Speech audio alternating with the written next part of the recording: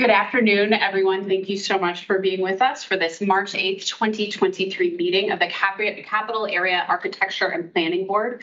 I'm really grateful for all of you bearing with the rescheduling and making time uh, for another meeting soon after, so soon after we met in January. Um, but the fun never stops on the CAP board. Um, so I now call this meeting uh, to Good order. afternoon, everyone. This Thank is now so our much. third hybrid board meeting. And per our recent practice, it is again live streamed on the board's YouTube channel where a recording will remain available uh, following the meeting.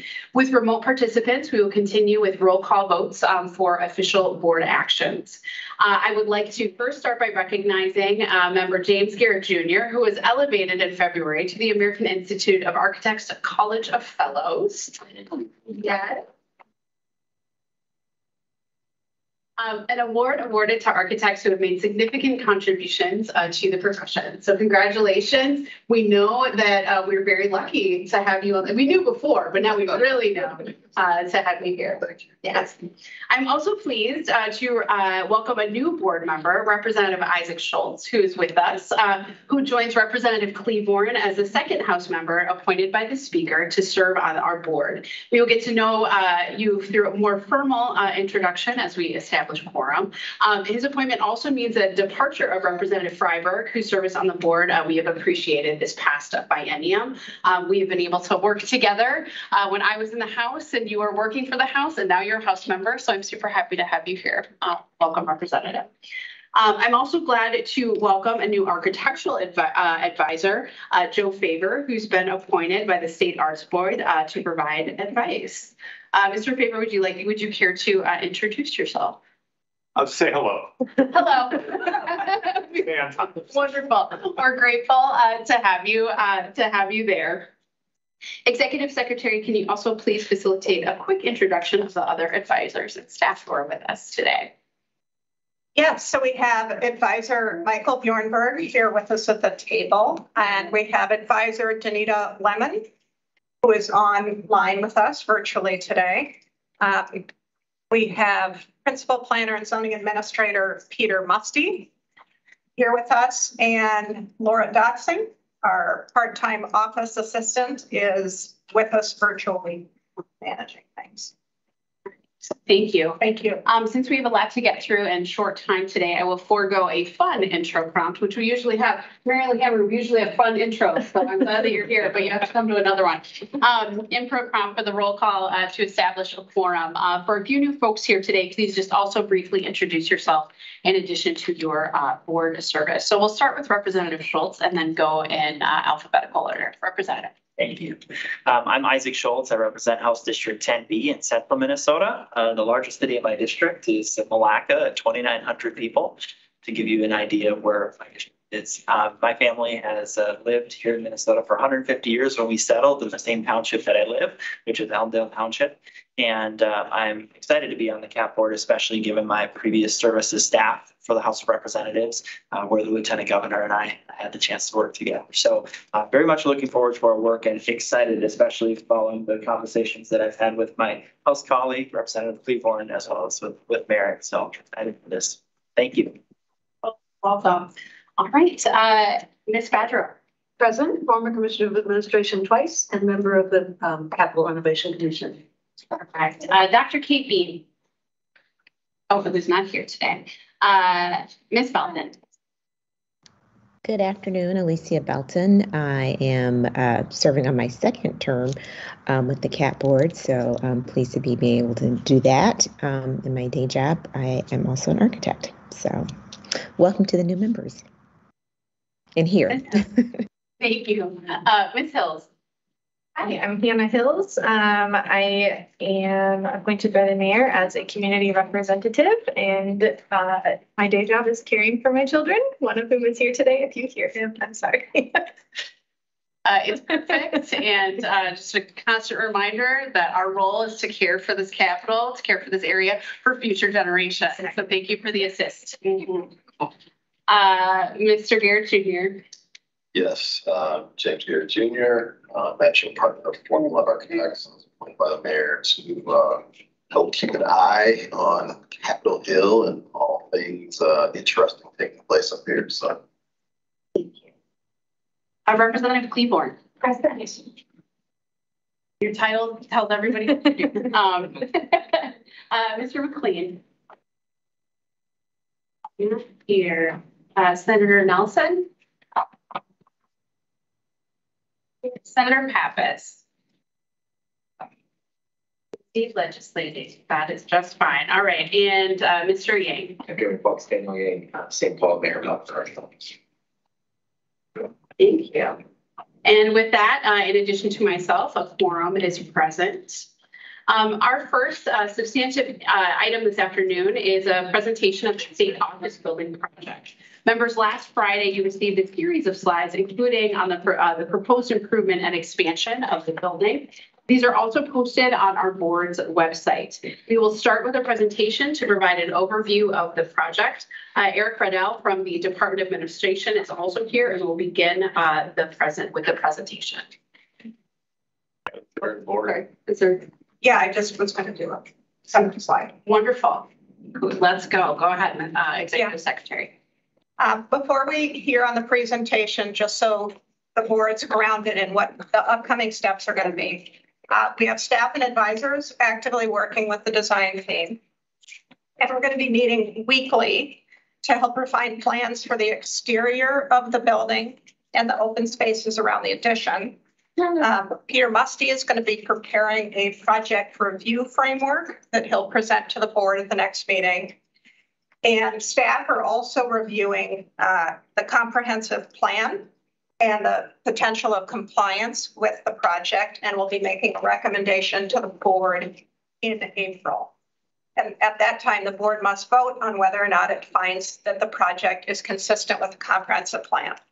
So today, we're just asking board members to listen to the presentations on the renovation, the proposed expansion and related comprehensive planning issues. Thank you. Perfect. Thank you so much. Very nice. Thank you, Madam Chair and Board. Um, I am Eric Riddell with the Department of Real Estate Construction Services. Um, I have Joel Stallman here from Mocha, Dan Hottinger from BWBR, from our design team, and then joining us online. Rich. Right, uh, again, thank you for the opportunity to discuss the state office building renovation project with you. The presentation we are about to give is a shortened version of the previous presentation that was given to the House Rules Committee. I will address the need for renovation. Mr. Stallman will address the process and programming. And lastly, Mr. Hottinger and Mr. Goodrich will review the proposed improvement and expansion. Current condition of the state office building creates many vulnerabilities. Next slide. State office building has several needs. Some of these needs include, but are not limited to outdated building infrastructure, security concerns, limited access for individuals with disabilities, inadequate space for public participation, inadequate space for staff, and life safety system concerns. Next slide. The state utilizes a rule-based assessment tool called the FCA, or Facility Condition Assessment. This assessment is a comprehensive review of all major building components. The FCAs are conducted by assessors who undergo extensive training. Next slide, please. Each FCA, each facility is assigned a value of one to five. Uh, one being the lowest, five being the highest. As FCA score is entered and an FCI, or Facility Condition Index, is assigned to the building. The FCA provides a readily available tool for maintenance prioritization, the FCA is a standardized management tool used by federal, state, and local governments. The last state office building FCA was conducted in 2020. Next slide. FCI scores range from excellent, good, fair, poor, and crisis. Next slide. Some items in state office building that are in fair condition. A reminder that the scoring is from 2020, so two years ago basement and exterior walls, several signs of cracking and water intrusion, exterior, next slide, sorry. Uh, exterior windows, apologies, in poor condition. The windows are energy inefficient and there's signs of water intrusion and the thermal breaks are failing and the exterior structural steel is corroding. Next slide, please.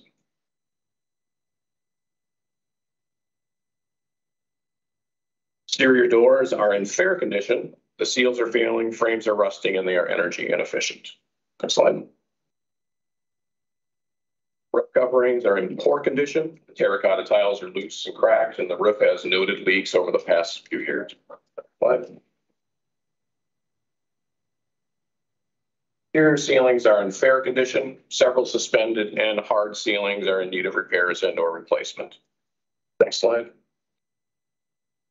Plumbing systems are in poor condition due to age and are currently insufficient for modern low flow fixtures. Next slide.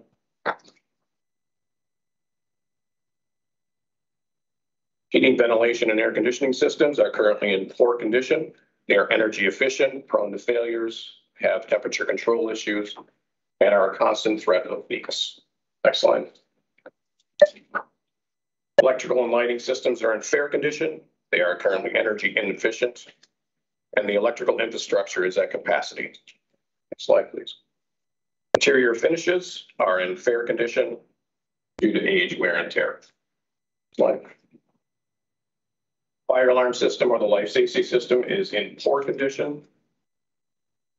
Excuse me, sorry, in fair condition, I correct myself. Uh, the infrastructure wiring and field, the field devices are nearly 40 years old and outdated. Next slide. So these items contribute to the state office building having an FCI rating of 0.27. This puts the building into the poor fair range the state office building is the worst FCI rated building on the Capitol complex. Next slide, please.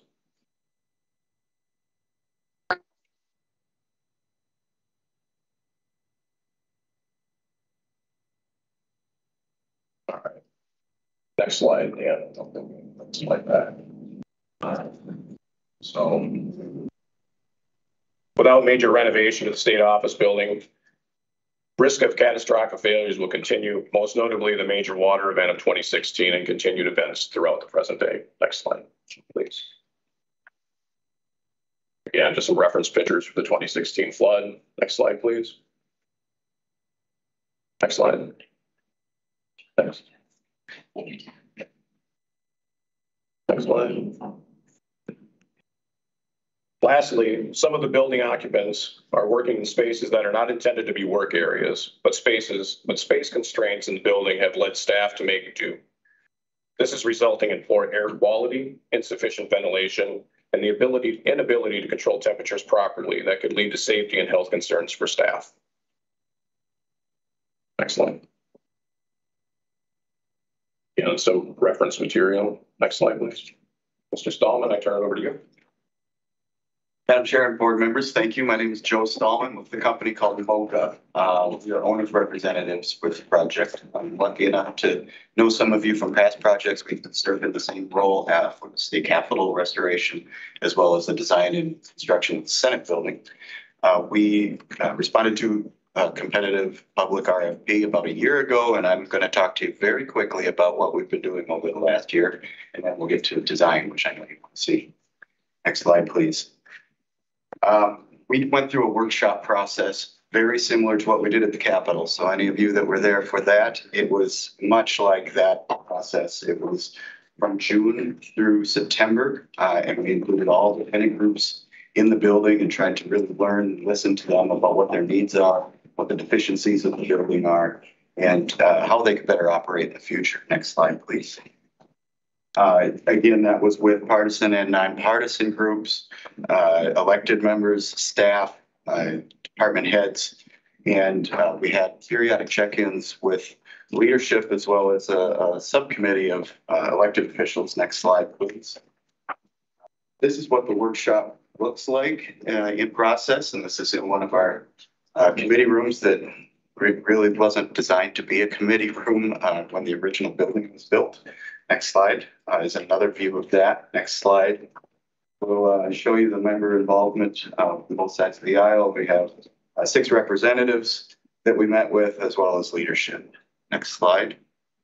And what we were doing is kind of bringing them up to speed on the workshop process. It started with a visioning workshop where we asked everyone to talk about their values and principles. Uh, we were trying to hone in on what the main goals of the project would be. Next slide. Um, what we landed on were these four core values. The first two, uh, want to take a moment and slow down on. Safety and security was one of them, as well as open and accessibility. So those two, those two items are, are sort of in conflict with each other, and our design team has a, a big task ahead of them to try to uh, understand how to meet both of those needs. How do you keep the building safe, but also open to the public? Uh, in addition to that, we uh, identified the function, functionality within the building, as well as the character. Next slide. I'm going to talk really quickly about the eight workshops and just going to tell you about what the, what the subject matters were and that led us to the the program.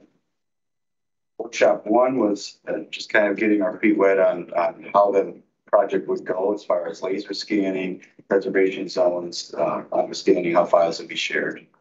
Workshop two then was uh, focused on committee rooms and conference rooms and meeting and support spaces. I alluded to the fact that uh, committee rooms were not an original part of the design. This building in 1932 had uh, large uh, atriums that allowed natural light down into the center of the building. Those were filled in the 1980s, and that's where all the committee rooms are. So those are an afterthought to the design.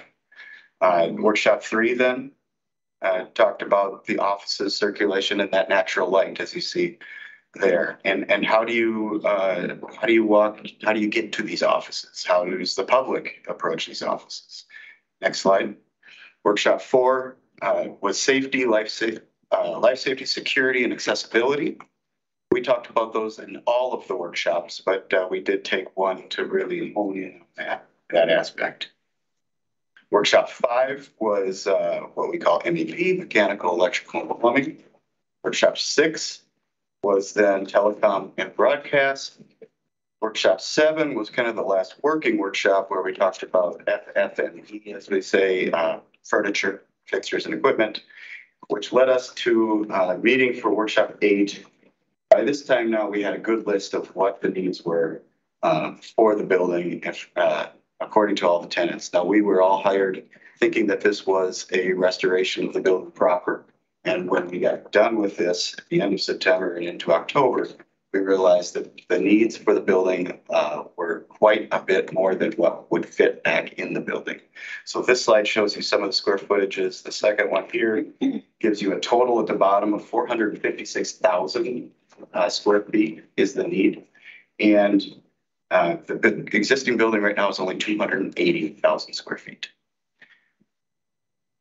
There, the architects took over on design, and I'm going to turn it over to uh, Dan and Preston. Thanks, Joe. Um, so as Joe covered in the workshop section, um, really one of the things we did early on was trying to identify the goals, the values, and the guiding principles for the overall project. So, and then those jointly served as guideposts, if you will, for the for the design as we move through. So collectively, the workshop process identified the core values for the project that we use, secure and safe, right? So um, security and safety for the public who are coming into the building and, and interacting with government, for the staff that need to work in the building uh, year round, and then the members, uh, the house members who are coming in and not only interacting with the public, but also interacting with their staff. Um, open and accessible. So easy wayfinding, the building should be welcoming to public, but secure, which is very difficult to balance to, to match. We, we had the same thing on the Senate building. I'm sure there was the same thing on the Capitol building. But also accessibility features that don't exist within the building today to make sure that there is a, um, the, the building is inclusive, whatever. Functional, functional spaces are paramount to the building, right? Um, we want to make sure that there are functional spaces for work, there's functional spaces for, for public interaction, and that to have the max, maximize the daylighting to bring the daylight into the building and make the building more pleasant for everybody to be in while they're there character uh, of the building is very important, obviously, on the Capitol Mall. It should be distinguished, it should be dignified. However, it should not be ostentatious. It should not be, uh, it should not turn away or uh, be uninviting to the public who is coming to the building.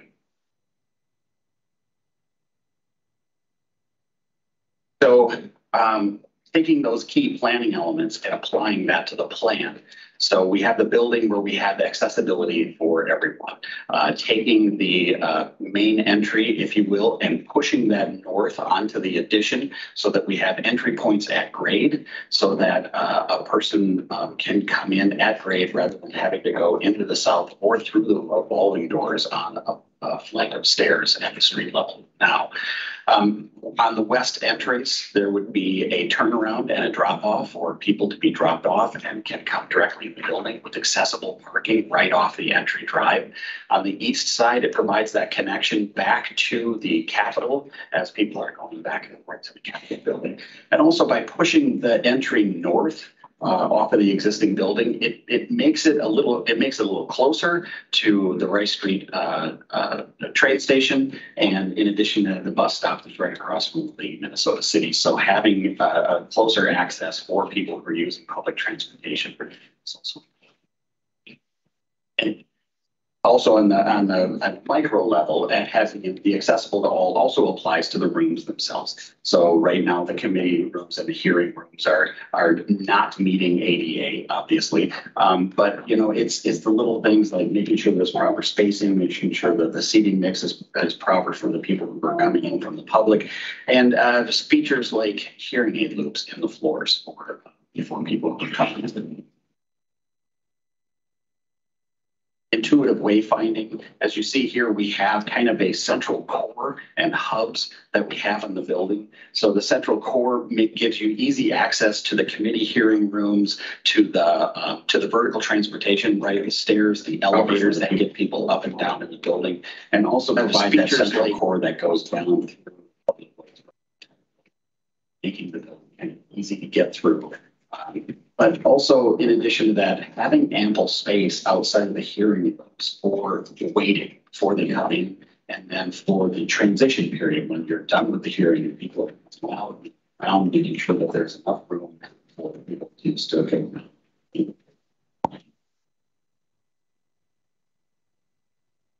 Integrated safety, uh, Joe had mentioned this before. This is one that, that we always struggle with. Um, obviously, it's a building of the people. You want the building to be as open and inviting as possible, but we also want to have the ability to react to emergencies or to provide the safety and security for the folks who work there, the public come in. So the security and safety uh, design is going to be integrated into the building to be as unobtrusive as possible to the to the public who are coming into the building and to the staff who use it every day and to the members as they flow through to their different appointments during the day. So it, it's big picture items like uh, up at the top of the building, we're going to have the air intake so that the airflow for the building uh, cannot be uh, tampered with. But it's also the day-to-day things, like having an, a fully integrated card reader system so that at, say, for instance, at five o'clock, the building could be um, the building could be timed to shut down for when the building is closed, if you will. And then certain areas become uh, go into uh, a lockdown status so that you don't have um, public who should not be in certain office areas wandering through for those people who are working into the evening uh, during. Uh, but also that card reader system also gives the capital security and gives the secretary, excuse me, gives me the sergeant at arms uh, the ability that in an emergency situation, they can lock down parts of the building or the to, to, uh, to address and deal with the situation.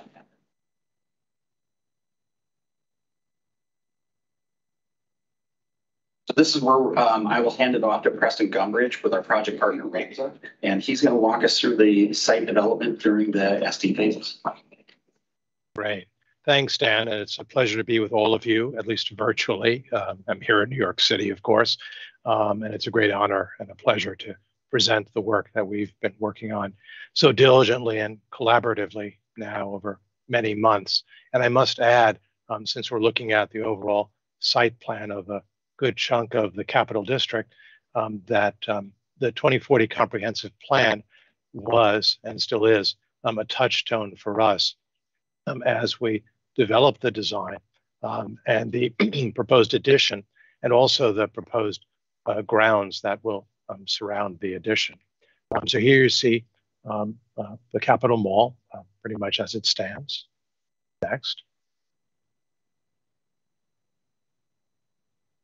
And um, again, sort of quoting from the 2040 comp plan, um, there is a very defined front yard to the Capitol. And I must add, um, I'm a New Yorker, but I have to say, um, you folks in Minnesota have truly one of the most beautiful state capitals that I've ever seen. Um, and you should be very, very proud of it. Um, and we respect that um, certainly as we move forward in this process. but the front yard is the primary place for Minnesotans to gather, express themselves, and commemorate. And we understand that. We also understand that there are other spaces, perhaps not as monumental in scale as that front yard, um, that also um, deserve attention um, around the Capitol Mall. Next. Um, so uh, in any project we work on, we start to do a site analysis, and this is certainly no exception. Um, so we looked at the Capitol, and everything sort of radiates around the Capitol building uh, the primary cross axes, north, south, and east, west. Next.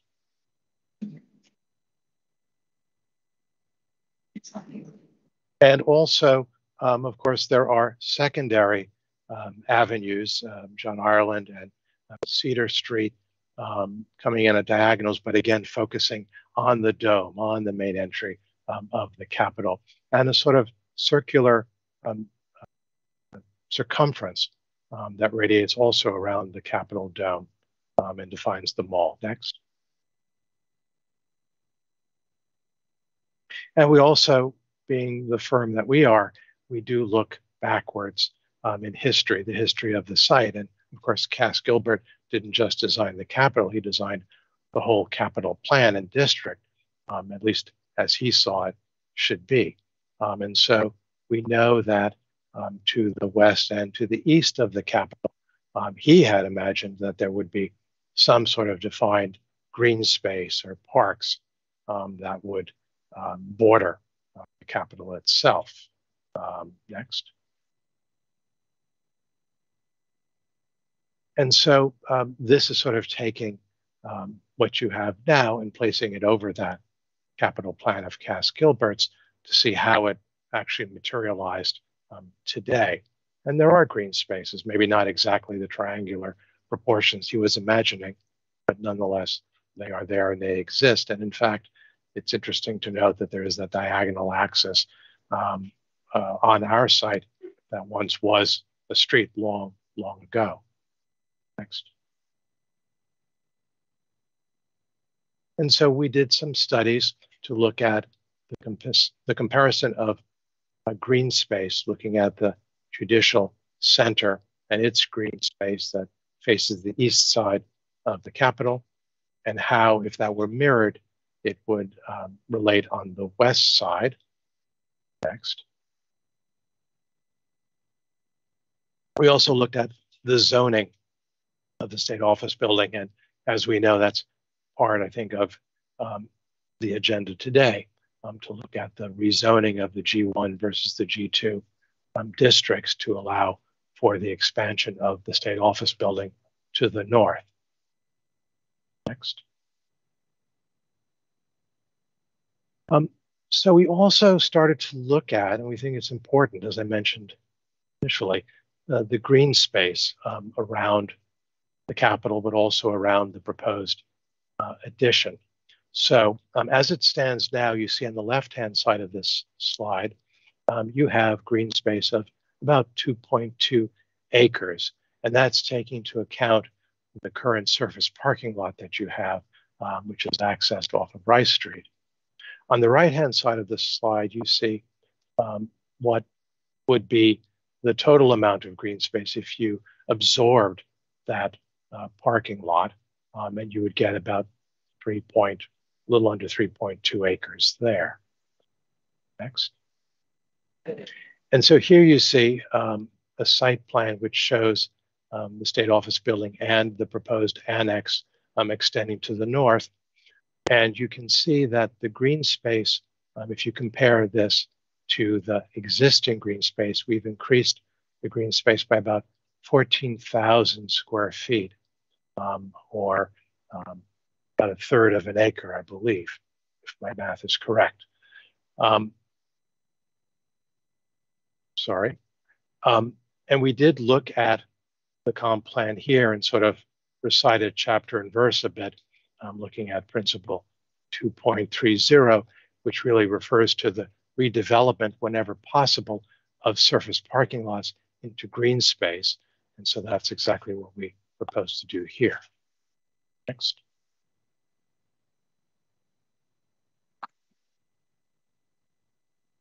So the design, the proposed design, um, tried to make sure that it was uh, built around the guiding principles that you see here, the secure and safe, the open and accessible, the functional, the character of the building.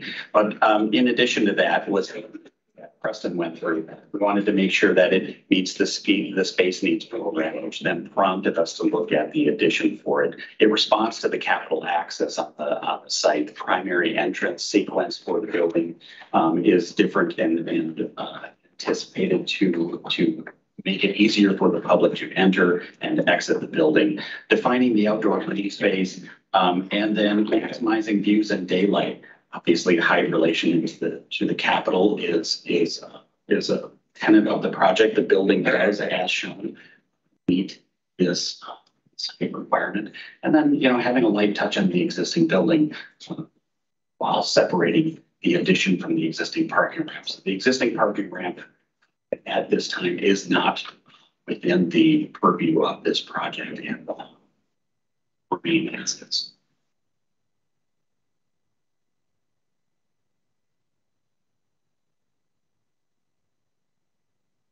Right. So I'll pick up from here.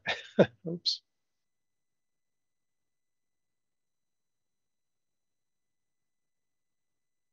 Sorry, do we need to go back or maybe this is okay? I can't hear you.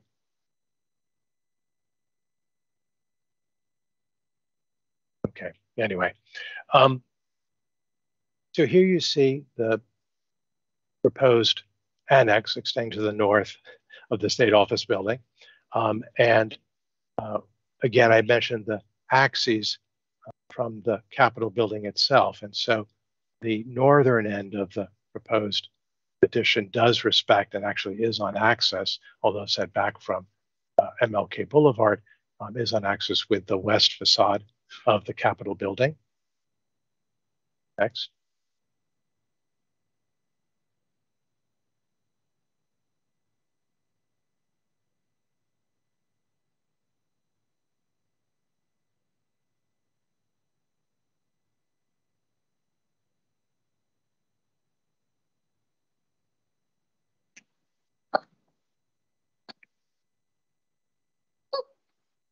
Great. Okay. I think I can hear someone back there. Um, um, sorry, I had a technical difficulty there. Um, so here um, with the open green space, there are um, other aspects. The mobility hub, for example, would be off of Rice Street, uh, bus service. Um, next.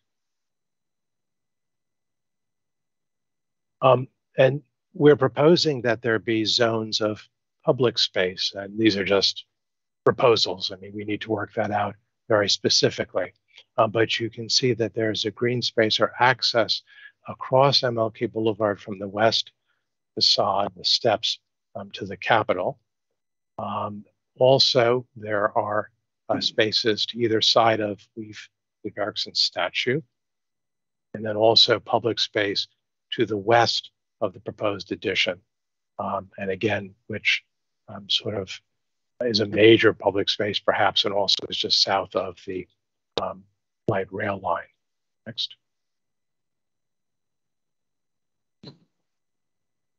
Um, as Dan mentioned before, um, this building, at least the addition itself, has two major entrances. The west entrance is uh, primarily a vehicular drop-off point or access point. Then the east is the formal, if you will, um, main entrance, pedestrian entrance from the Capitol. And very important to this project because I know in the existing state office building, um, light is at a premium, uh, but this project is intended to be very light, open, and inviting um, in its own way as a public building. uh, to provide natural light deep into the building and also to provide Capitol views for the public um, in the spaces, public spaces, which um, surround the perimeter of the building, certainly on the east and north ends of the project. And also, the green space is important. And so, while you have light and views, you also have views and access to that green space all around. Um, we also are respectful, again, looking at the comp plan of the height of the building and the cornice of the proposed addition lines up with the cornice of the existing state office building, um, which is less um, high than the existing cornice and balustrade of the Capitol building. Um, in fact, the roof midpoint um, lines up with the top of the balustrade, so it is uh, in deference, certainly in massing and height to the Capitol building. Next. Um, I think, as Dan had mentioned before, uh, it is a light touch that we propose um, to uh, attach to the state office building. We see the state office building as a historic building with its own importance. Um, and so we're mindful of that and don't want to overdo it. Next. And I think, as Dan had mentioned before as well, uh, while the parking ramp is not currently in our scope, we are mindful and respectful of the entrances and exits to it. And so our proposed vehicular access drive on the west allows access straight into that parking ramp. Next. Um, this is an aerial view of the addition and the existing state office building and its reconfigured configuration. Um, you can see um, you can see that major data lines, as I mentioned, um, are carried through. Next. And perhaps more importantly, the perspective view from the west side of the Capitol steps you see on the lower portion of this slide probably tells the story better. Um, the materials are a continuation of the cold spring granite that's on the existing building. Um, also the terracotta tile roofs, the same material. So there's a continuity of materials across the Capitol complex. That's the intention here. Um, and you can see, unlike the state office building, which has fairly small windows, we're proposing large and generous windows um, in all these public spaces that um, certainly face east, as well as the office space to provide plentiful light, but also to be a sort of transparent view into um, the government. So you can see behind the windows, the right-hand side of the lower portion of the slide, um, some of the proposed hearing rooms and how large those windows are and how you get a view of government in action, certainly, this vantage point. And you can see, uh, I don't need to recite the chapter and verse, but the various elements within the comprehensive plan that we are mindful of and um, propose in this project. Next. And, and lastly, the, the, the rendering itself, as I had mentioned before. Um, this shows the proposed entryways and access points and security bollards around the perimeter, everything that you know, we've certainly learned from the comp plan and intend to incorporate here. Thank you, Preston. Uh, just real quick for everybody, just the uh, the schedule that we are at right now. We are currently in design development phase, uh, February through May. We will be uh, looking to construction document phase September with bid packages um, and issuance of the GMP in August of 23. Bidding phase, August through September of 23. Financing, September through October of 23. And construction start December of 23 through December of 26. Thank you, Madam Chair and Board. Very much. Um, so thank you all. Uh, this leaves us uh, a, a, few minutes for questions. Um, or comments from the design team. Uh, members, would any of you like to hear, uh, you know, either anything related to the, the presentation or other materials provided? Just want to give folks an opportunity here.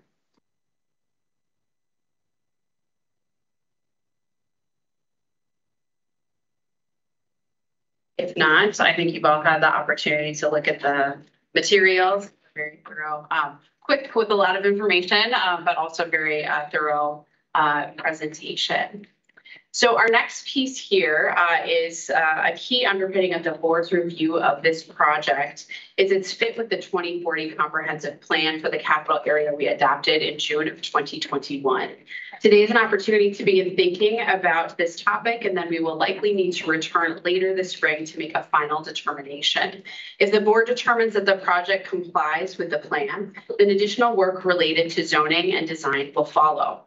The board staff have prepared some initial analysis to help start your thinking on this issue in a memo, which is posted on the board website and has been distributed uh, by email. Um, Ms. Clapsmith, uh, can you please go ahead with your overview? Yes, thank you very much. Um, I want to just note that because of the timeline, moving very quickly, we're going to be pursuing a dual track review.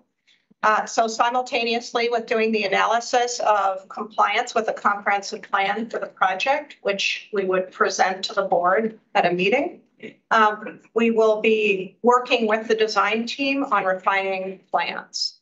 Uh, so we'll be doing those concurrently as we go forward. I'm gonna skip our comprehensive plan slide here. And as we think about the comprehensive plan, um, I want us to think about kind of a project view and then a larger context. We're not restricted to evaluating compatibility based only on the building design and the addition itself. We can also think about the full picture of things happening in relation to the project. In the following slides, I will introduce themes of the comprehensive plan that we'll want to consider for the project and a few questions under each. Uh, staff and advisors are beginning a deeper analysis of compatibility and will present that to the board at its next meeting. Um, in the meantime, we encourage you to think. And I want to pause just for one moment because I missed um, asking to yield time momentarily to our advisor, Michael Bjornberg. Uh, the advisors work closely with staff during all of this. Uh, and this has been proceeding a little differently than projects normally would. And, and advisor Bjornberg is asked to share a few comments on that. Thank you, Madam Chair, members of the board. I appreciate your allowing time for CAP Board advisory commentary. Uh, these comments are reflective of the advisors and through discussions with the CAP Board staff. The CAP Board or nor advisors and advisors were excluded from involvement in the project formulation and programming discussions for the first six months. This runs counter to all other work within the Capitol complex and formally agreed upon procedures that have typically been used for years. This then brings us to a moment in time where we find ourselves in a project that has overgrown its site, is architecturally pretentious for its locale, and has consumed space devoted to public use.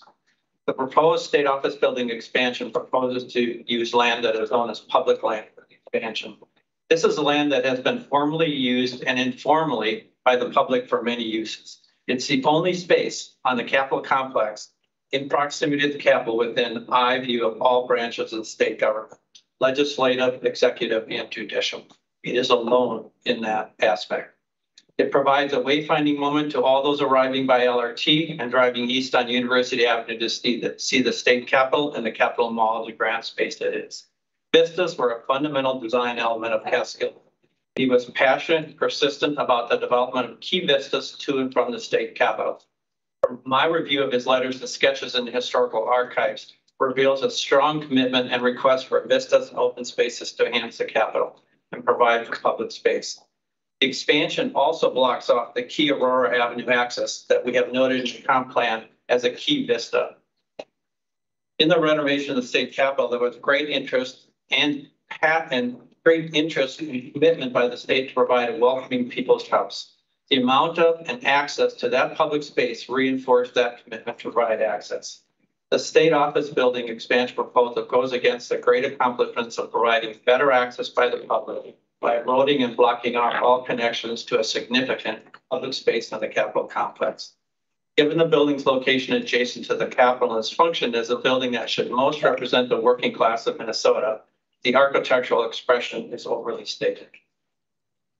We oppose the state office building expansion in its current configuration for the following reasons. the blatant exclusion of the cap board in planning of this project and the lack of public involvement. The elimination of public land that has been used by many to enjoy the views, the park-like atmosphere. It just feels like land grabbing. The loss of this gathering place also eliminates the visibility to state lawmakers and people's access to the process that affects them. Again, I repeat, it's the only public space on the mall visible by all three branches of the state government. I am doubtful there's been due diligence in looking at a programmatic prioritization of project elements that can reduce the extent of movement into that public space. The substitution of additional park space away from the Capitol is a safety concern. It develops an undesirable and fractured gathering areas around highly trafficked intersection with multiple traffic modes, including LRT, bus, automobile, emergency vehicles, and could put pedestrians at a high risk for injury. Given that the design team has been given direction to proceed with this design and the role of the cap board is to challenge projects to be their best, we have requested to be involved in the ongoing development of this project and provide our expertise, as is our charge, and due diligence as we have on all our other developments in this area. Thank you. Thank you. All right, so I'm going to now run through quickly uh, topics we have to think about for the comprehensive plan. And the first one we want to turn to is open space. Uh, because there's a loss of open space from the addition, uh, the design team and house leadership, next one, please. Uh, looked at, are there opportunities to create new open space in the area so that there would be a no net loss of open space? So on the right-hand image, you see um, two areas that have been suggested for consideration that would be open space added um, near the Rice University intersection and visible to uh, the state office building and Capitol. One is to the on the northeast corner of Rice and University, and other is in the southwest. Um, ideas about these space are being actively considered, and you'll be hearing more about those. But um, obviously, those spaces would function differently than um, how Leif Erikson Park had been envisioned in the comprehensive plan. Next. Uh, civic gathering. We have the tradition of Leif Erikson Park for civic gathering. So with an addition in place, how does the function of this space change? Will there still be opportunities, for instance, for people to come um, to have political rallies, which has been a tradition, prayer sessions, often um, in conjunction with stuff that's happening on the mall, so that opposing sides each have their space to express themselves. Um, so how do we balance this idea of having an open campus um, with working in this addition and still meeting some of those principles?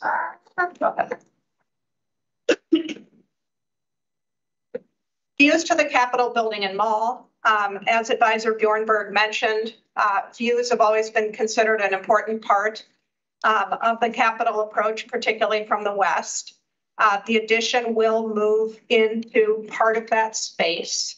So are there new ways that we can think about design around the addition that help with the experience of the stairs going up to the Capitol um, and approach from the mall?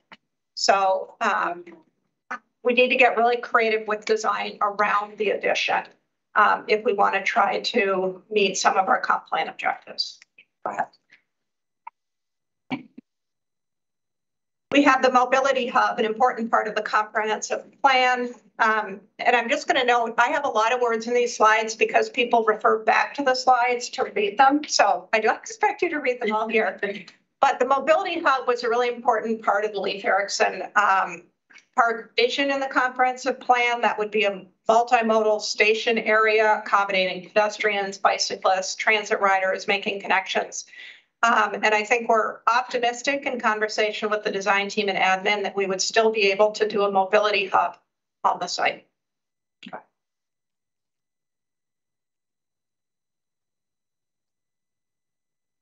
Community connections and vitality. This is where we really think about looking at the bigger picture of activities that could be catalyzed by this investment. What other things can happen in the area that would really help advance our comprehensive plan objectives. Um, transitions between the community and the campus, a sense of welcome. Uh, and this is just an image uh, from the Reconnect Rondo, where it's re-envisioning an, an intersection a little bit of a ways from here. But if you think about Rice and University now, I think there are a lot of opportunities to kind of change the feel and design of that so that people feel like it's easier to move between the campus and our community.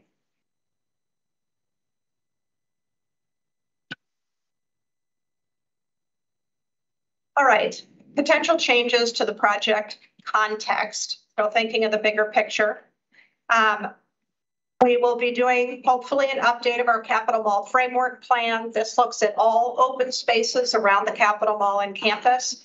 And it's a really important opportunity coming up to really dig deep into thinking about new open spaces that might be added. Um, we're thinking about improvements along the Rice Street corridor. The comprehensive plan had had a vision for narrowing that corridor, making it easier to cross. We definitely want to keep thinking about that. Um, upgrading the connectivity, as I mentioned, between the campus and the Capitol Rice area. And then just mobility, safety, wayfinding. And are there other opportunities? So shifting from the comprehensive plan piece, if the addition is going to go forward, um, it would be going into land that currently is only allowed under zoning for open space. So we would need to do a rezoning to allow the addition to move forward. A rezoning under uh, and state processes is a rulemaking. Um, and rulemaking typically take, I mean, really is a fast track. Six or seven months is very, very fast.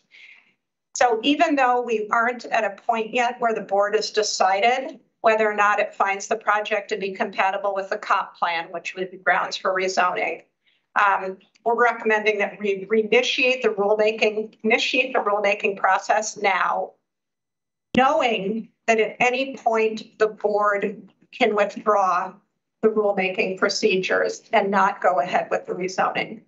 But particularly this first 60 days, it's the first of two opportunities for public comment on the ideas of rezoning. And um, we would like to get those going right away so that we can then move through the other phases of rulemaking and have a decision um, that's consistent with the timeline for uh, these guys going to the bond market in the fall. Okay.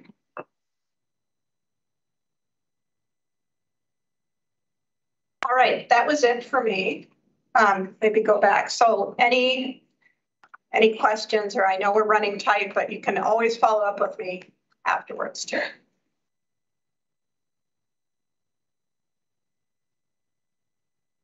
Was that a lot? I think, I think, um, we were overconfident in our ability to get through this meeting in an hour, but I appreciate the flexibility, um, of everyone and Mary, thank you so much for running through that. I uh, just want to open it up if there are any questions that folks have at this, this moment. Um, there are opportunities, uh, to pause along the way, uh, but this is, is needed to at least, uh, get the, the process started. Thank Uh, I'm going to come to Ms. Hills and then Ms. Badgerow. First. Um, thank you so much for all of the information. I've really appreciated um, being able to read through so much before this meeting and then hearing it firsthand as well. Um, I have a lot of questions and I will not take everyone's time to ask all of them, but I would like to start by saying I think there will be some sensitivity from a community perspective about the bypassing of the cap procedure.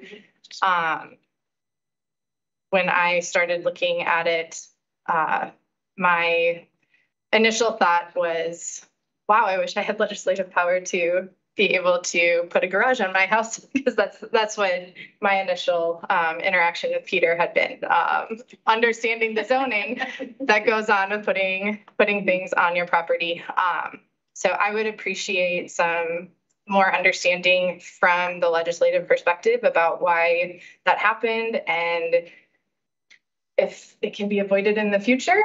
Um, because I think we're here, we're all here to care for this this complex, and I think it's important that procedures are followed. So, thank you. Well said, Ms. Hills, and I would uh, invite our legislative partners uh, to uh, share some of uh, their thoughts and perspective as well. I won't put it on both of you to represent the entire body. Um, but I do think that there's an opportunity for that, and I think that that's, uh, that's a fair, fair question. Who's better? Yeah, Madam Chair and the board, um, we've been presented with a ton of information. Yes. It is a fire hose. I really want to, first of all, applaud CAP board staff for trying to find a way through to get us to a point where this project can move forward in a way that does not violate the plan. But I, I for one have, as, as does Ms. Hills, have a ton of questions and I, I worry that our next meeting will be a vote yea or nay in terms of whether this meets the plan and we will not have had a time to think about it and review the discussion. I'm wondering if we possibly could schedule another meeting that is a little more liberal in terms of timing and the ability to ask questions. I know we're already past ten minutes past, and so, um, Madam Chair, is that, is that a possibility? What I would, what I would suggest we do today, you can take my suggestion or leave it, is that I do believe that today we do need to proceed with um the rulemaking process. Um, I would also say that I think we have an opportunity where we can have an additional meeting. And I would, I would perhaps call it something like a study session. Yes. Um, uh, in order to dig in here and to have a more robust uh conversation to really give ourselves that time. I would also suggest uh, that that would be an opportune, uh, an opportunity for our legislative partners to come and speak a little bit too about, um, uh, about these changes, why they're needed. We certainly, you all did a wonderful job. Um, uh, we certainly can see that, but I do think, um, uh, there's an important perspective of both legislators and staff who've been in these buildings, um, and, uh, and there, the need for, uh, those changes. Does that It does absolutely, and I was actually prepared to move that we go forward with the, the rezoning, with, Wonderful. with the process of, of rulemaking, because we, we don't have any time to waste. Um, so I, that is completely compliant with what I was thinking. Wonderful. I think we all, we all could use a little study session. Yeah. I'm gonna come to Mr. Yang and then back to Ms. Hills. Sure. Just wanted to know very briefly that the mayor uh, and, and staff uh, have had the opportunity to talk to both legislative partners and CAP board and um, supportive of the project and really appreciative of the accessibility uh, inside the building. Um, and again, very supportive of the project, but also shares concerns about accessibility outside in the green spaces and, and around the building. And so I know we'll have plenty of time to have further conversations, but as design team folks are here, um, incredibly important to make sure that we maintain the accessibility that we're striving for inside and so we are around. the building. Thank you. Uh, just one more thing. Um, definitely see the need for something to change with the state office building. It's very obvious that it's in need of, of updates. Um, I just would request from the design team as someone who is not an architectural expert.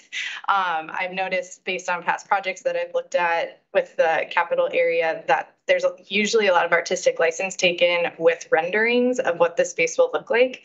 Um, so I just want to put it out as a community member and not as an architectural expert um, to be able to see a more realistic understanding of what things will be. Um, just as a quick example, uh, burying power lines versus having power lines. That makes a huge difference in the aesthetic of a space. So very simple, but it would go a long ways, I think, for people to understand what the space will be.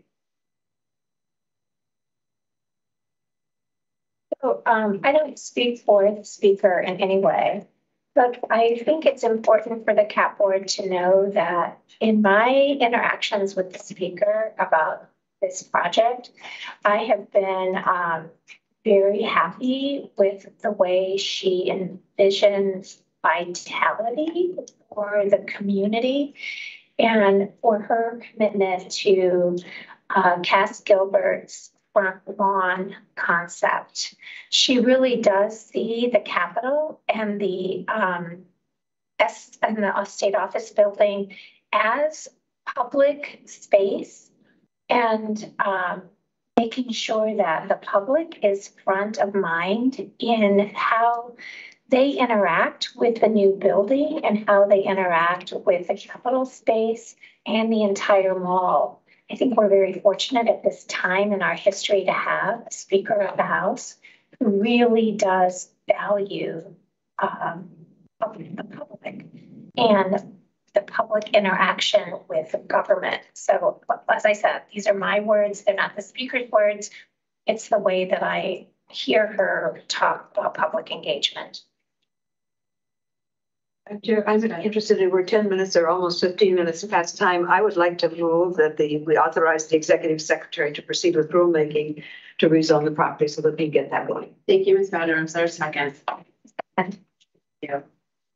Uh, is there any discussion, additional discussion?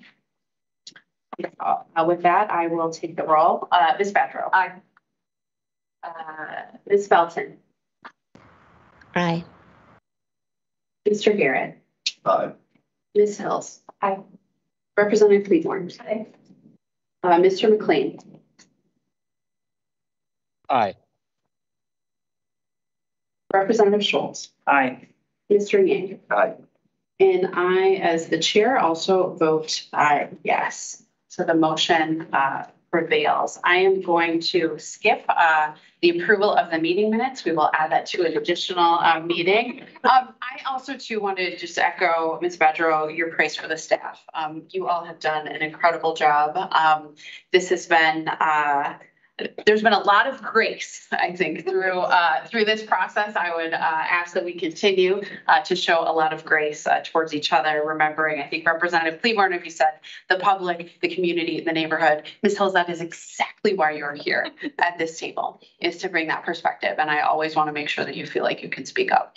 Um, this matters tremendously. Uh, we will all be in these roles for a very short period of time, as is related uh, to the beauty and the promise of uh, the Capitol and the surrounding uh, area. So we can do this with uh, great humility, great care, um, and uh, folks should feel seen and heard and valued as part of this process. So thank you, Executive Secretary and Mr. Musty, for everything that you have done through this process. It has been a heavy lift. And Mr. Bjornberg, I hear you.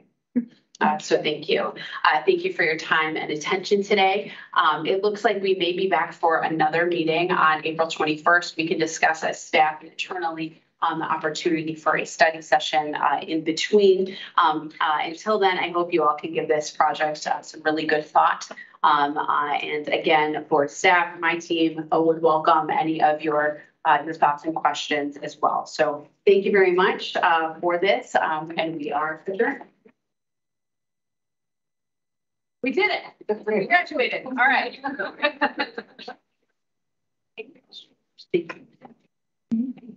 And